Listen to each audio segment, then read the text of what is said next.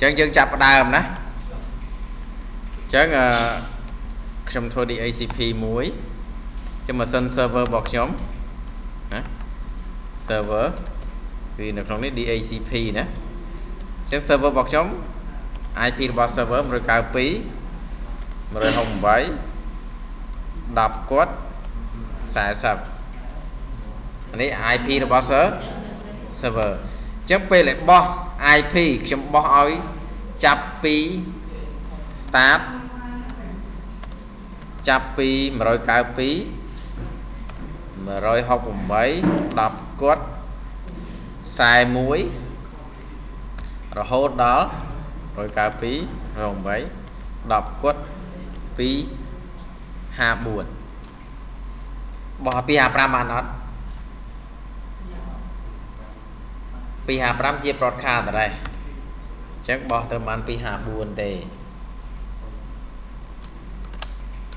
មិនអញ្ចឹងបោះត្រឹម254ទេណាបន្ទាប់មកទៀតពេលបោះហ្នឹងខ្ញុំឲ្យ IP DNS ទៅទៀតព្រោះពេលដែលយើងចាប់មាន DNS ហ៎ DNS យើងចង់ដាក់ប៉ុន្មានដាក់ទៅណា200ដល់200 1 DNS 200 200 200 2មិន2001ទេដោយសារផ្លេចចុចណាអញ្ចឹងយើងបោះណាអញ្ចឹងខ្ញុំចាប់ផ្ដើមធ្វើនៅលើ server អញ្ចឹងជាដំបូងគឺយើងអីគេយើង install សិនណាយើងខ្ញុំអីគេ install សិន server manager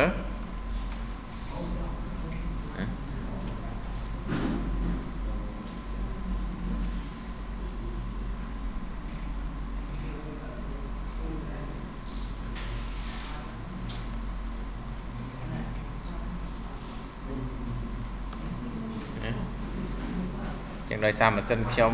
ធ្វើការងារ record ផងចឹងវា slow តិចហើយ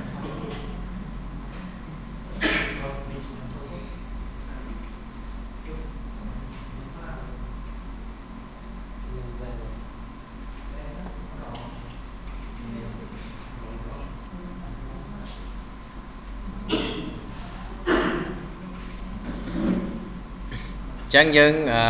នេះហើយយើង add role យើង next យើងយកអីគេ DHCP server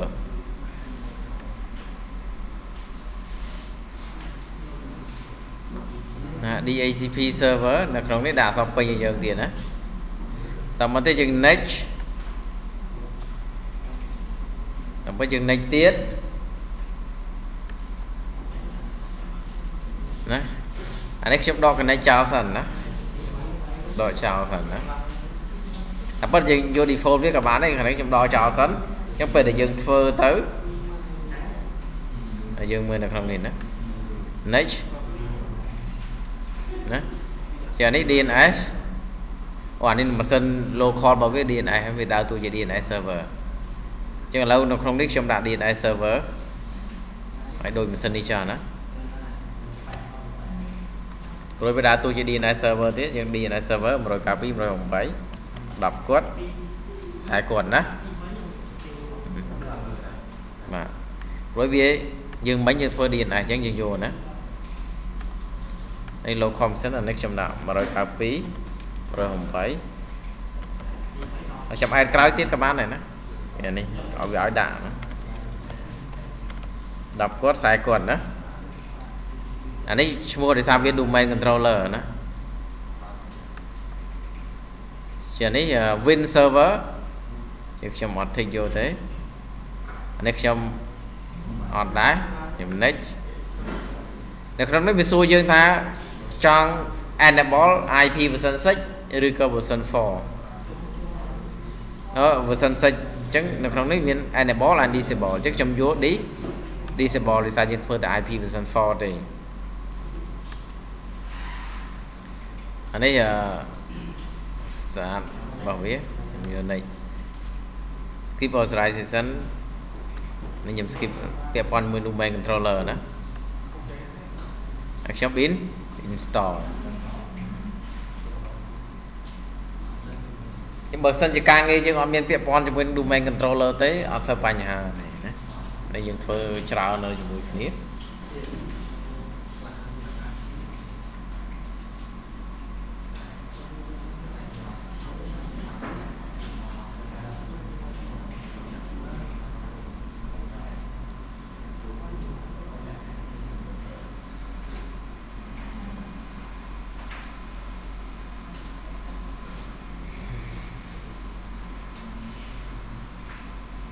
រៀង slow បន្តិចហើយជើខ្ញុំនឹងធ្វើវាបោះ IP មកម៉ាស៊ីនខាងក្រៅណាអញ្ចឹងបោះ IP មកម៉ាស៊ីនខាងក្រៅ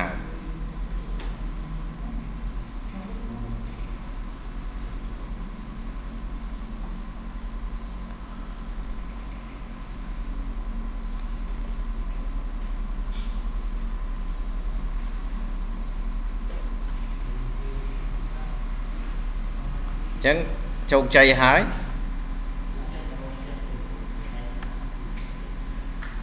ចឹងជោគជ័យហើយណាអញ្ចឹងដើម្បីយើងចូលវាយើងយកអឺនេះ DHCP ណាអមមកថាយើងអានេះដោយសារខ្ញុំអត់ចង់ចំណាយពេល restart វាខ្លាញ់នេះគឺខ្ញុំចុចវាសិនបើសិនជាវាអត់ដើរទេអាមកខ្ញុំ restart ណា DHCP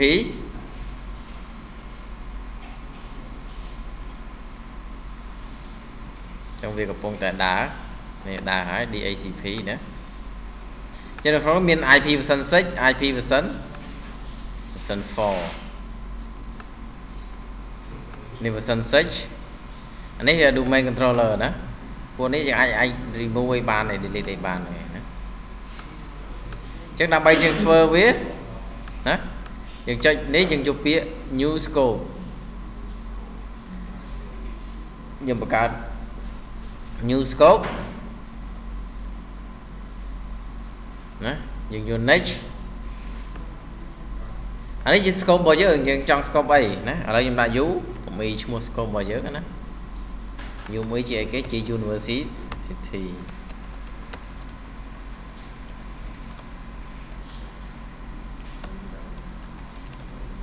យើង u អីណា university next នេះ start IP ចឹង start នៅពីណាដល់ណាចឹងពេលដែលយើងបង្កើតថ្មីគឺយើង start ណាណាមិនមែនអានេះ start អានេះពេលដែលវាបោះឲ្យណា start ហ្នឹងគឺយើងនិយាយពី IP rank របស់យើងណាយើង start អឺ start នេះយើងចង់និយាយពី rank IP rank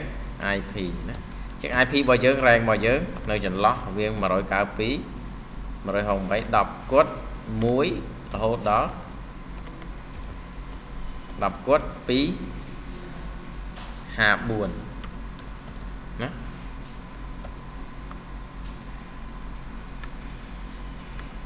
អញ្ចឹង192 168 10គាត់ចុច1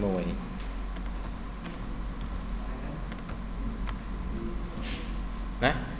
គេអានេះ bit មែនទេមែនទេ30 bit អានេះ30 mark ម កវាហ៎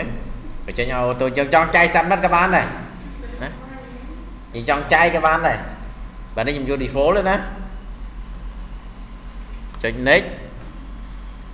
អានេះយើងដក IP ចេញអូមកមិនយើងឲ្យវានៅចន្លោះ ណាណាមិនយើងឲ្យវានៅចន្លោះពីពី1រហូតដល់254ចឹងអានេះខ្ញុំចង់ដកវាចេញវិញដក IP មួយចំនួនពេលដែលខ្ញុំមាន IP ខ្ញុំចង់ឲ្យខ្ញុំមកឲ្យបោះទៅទាំងអស់ហើយយើងខ្ញុំត្រូវការ IP ខ្លះទុកចឹងអានេះ IP exclude ណាចឹងខ្ញុំដកពីអឺ1រ ហូតដល់40ព្រួយម៉ាស៊ីន server ណា server ត្រូវការ IP fix ចឹងដាក់ដោយខ្លួនឯងណាដល់ពេល client គាត់ឲ្យចាប់ឲ្យអូតូទៅណាអញ្ចឹងអានេះខ្ញុំដក IP IP តុកនេះដកតុក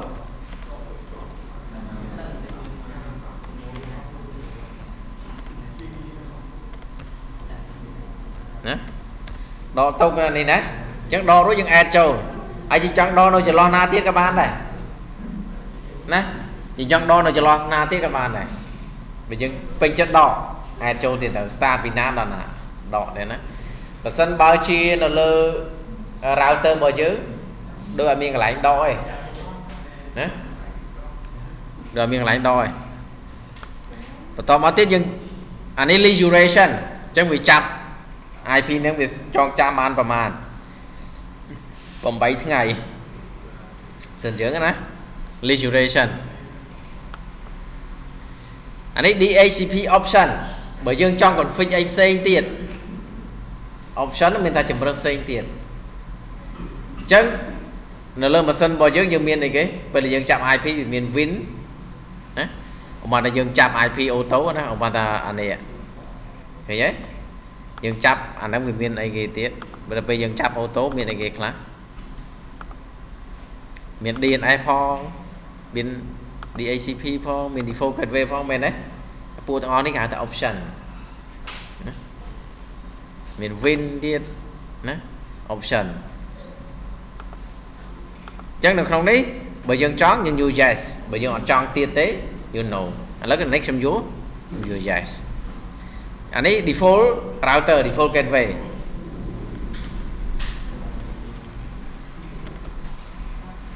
ឥឡូវ default gateway គឺអានេះខ្ញុំដាក់ IP នេះ IP router ណាចាអានេះខ្ញុំដាក់ IP instrument ទៅហើយយើងចង់ដាក់ប្រមាណក៏បានដែរនៅនេះណាតោះមកយើងចុច next អានេះ D DNS នេះខ្ញុំដាក់ IP នេះមួយទៀតអានោះ local IP 10គាត់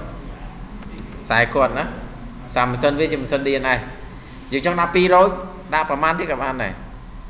ចឹងវាទៅ resource ឈ្មោះនឹង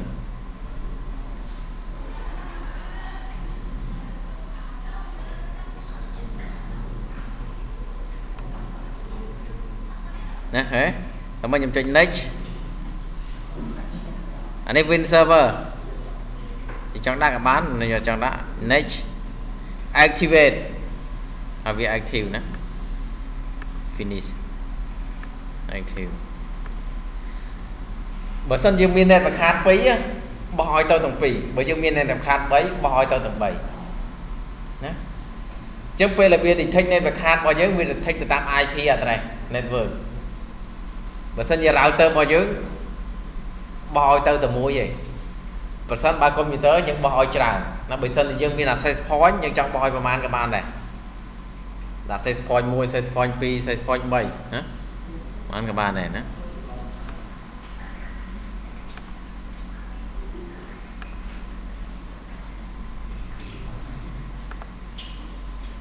ចានេះខ្ញុំមើលអានេះខ្ញុំមើល property របស់វាមានពាក់ព័ន្ធជាមួយ network card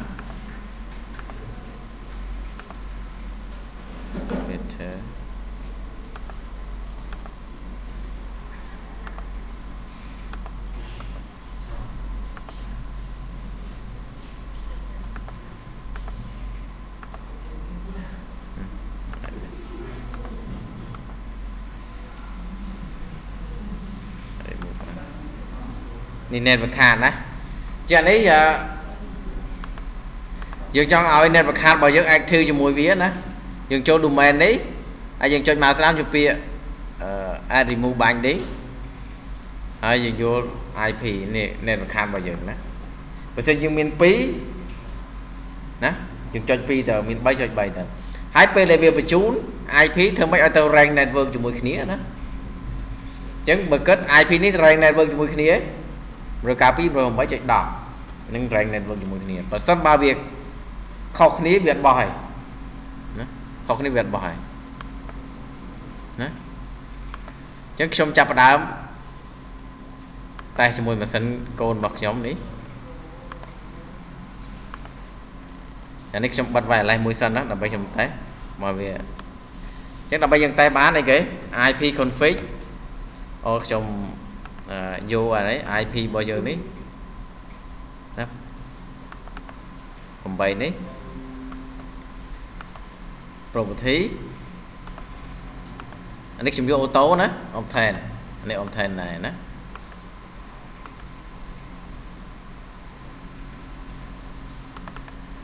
ទៅធ្លាក់មកអត់ចានេះជាប់ DHCP ជាមួយ VMware អញ្ចឹងយើងទៅបិទ service វាចោលមួយសិនណា VMware service ចានេះវារៀងច្រើនកលៈបន្តិច service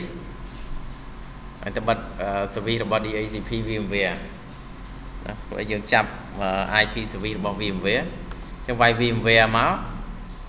VMware DHCP អញ្ចឹងយើង stop service វាមកណា stop service វាណាព្រោះអីនៅ VMware វាមាន DHCP របស់វាអញ្ចឹងយើងអត់ចង់ឲ្យវាដើរណាយើងយក disable enable វិញមក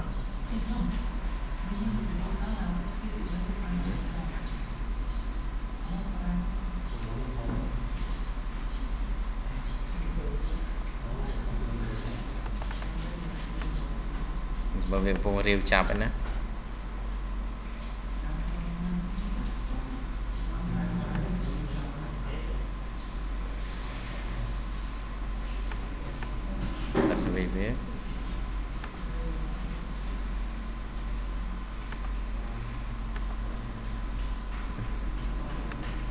cmd ipconfig slash release ណា ipconfig slash renew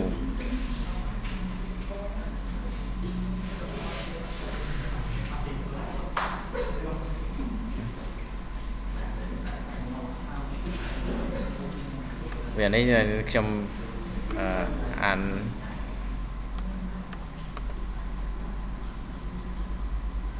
deactive ខ្ញុំ active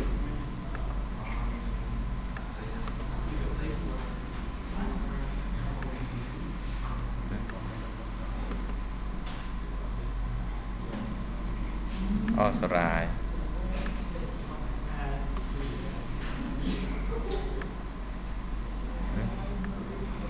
តែនេះខ្ញុំ refresh វាណា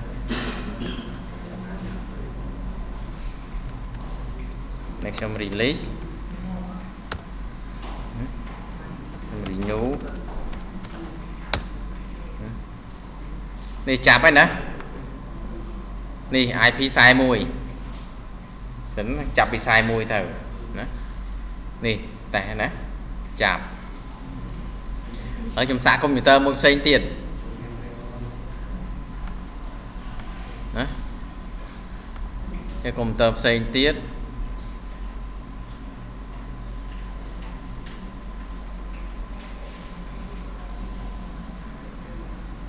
មែននេះចេញមែនណា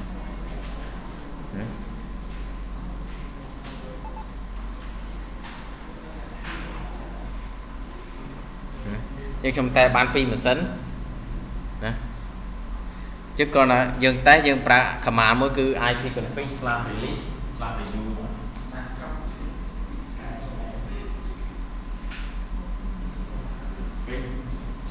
release មានថាបោះ IP ចេញ IP config ណា renew ចាប់ IP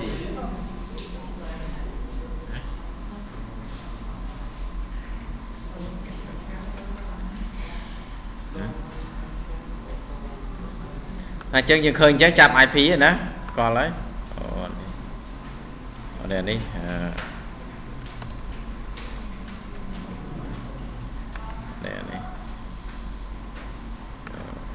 ទៀតម៉ាស៊ីនមួយទៀត Windows 7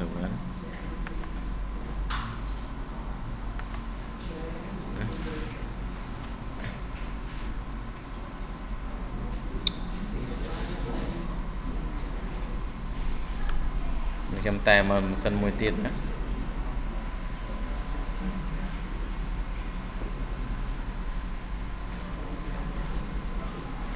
ចឹងយើងចង់មើល server ណា តាមម៉ាស៊ីនណាចាប់ IP ណា address list យើងចូលមក address list មកឃើញហើយណាកំពុងដើរ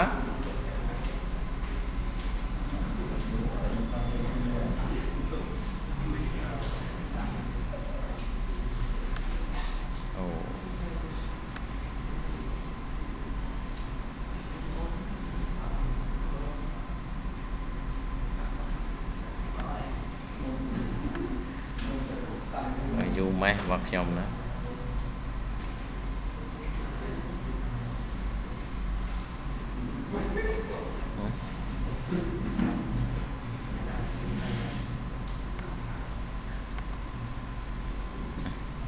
ចឹងទៀតយើងខ្ញុំតេស RP នេះមួយទៀតអានេះ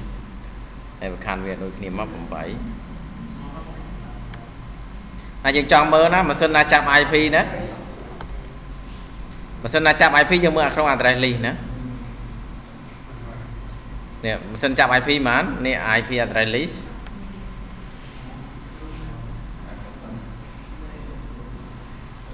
ហើយនៅក្នុងនេះយើងអាចនៅក្នុងនេះយើងចង់ម៉ាស៊ីនដែលចាប់ IP នេះយើងអត់ចង់ឲ្យចាប់ក៏បានដែរអញ្ចឹងនេះម៉ាស៊ីនដែលយើងចាប់ IP មានណាអញ្ចឹងឈ្មោះកុំព្យូទ័រនេះឈ្មោះ IP phone ក្រោមនេះណា ឥឡូវខ្ញុំឲ្យម៉ាស៊ីននេះមួយទៀតចាប់ IP ដែរចឹងនៅក្នុងនេះខ្ញុំចូលមក do network card ចឹងចាប់2គ្រឿងឃើញ2គ្រឿងចាប់3គ្រឿងឃើញ3គ្រឿង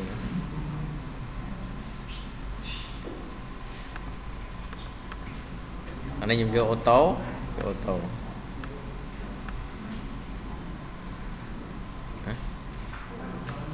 នេះចាប់បានហើយនេះឃើញហើយណា DNA ឃើញ40ហ្នឹងនេះជា default gateway ណាចាប់បានហើយណា42ហើយយើងចង់មើល42មានអត់យើង refresh តិចមកហើយមួយគ្រឿងទៀតតែពីរគ្រឿងណាយើងចាប់ហើយនៅក្នុងម៉ាស៊ីននេះណាអាចកំណត់ fix IP ក៏បានដែរណាកំណត់ fix អីក៏បានដែរណាអញ្ចឹង DNS យើងណាហ្នឹងហើយ